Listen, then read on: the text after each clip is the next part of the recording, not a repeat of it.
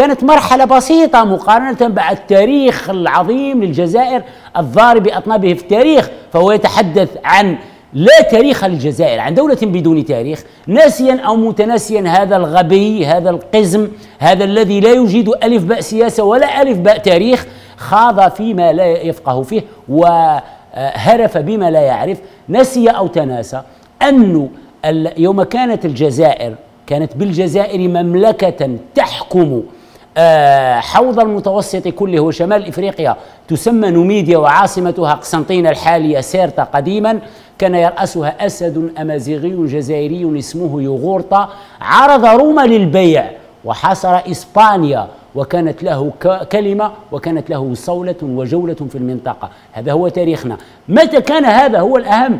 كان ذلك سنة 1500 سنة قبل تشكيل فرنسا.